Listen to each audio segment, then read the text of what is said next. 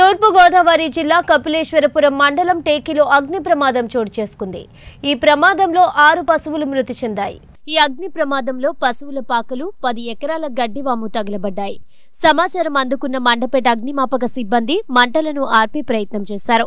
వారు తెలిపిన వివరాల ప్రకారం కాలేరు రహదారి వెంబడి పంట పొలాల్లో వరికోతల గడ్డిని తగలబెట్టడంతో ఈ ప్రమాదం జరిగింది.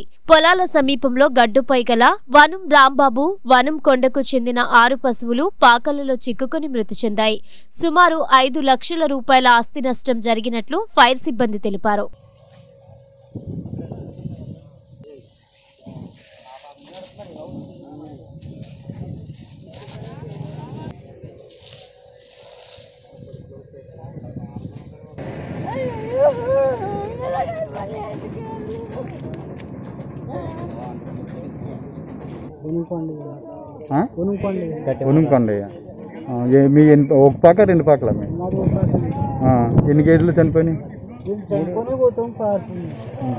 మొత్తం రెండు గేదెలు చనిపోయినాయి.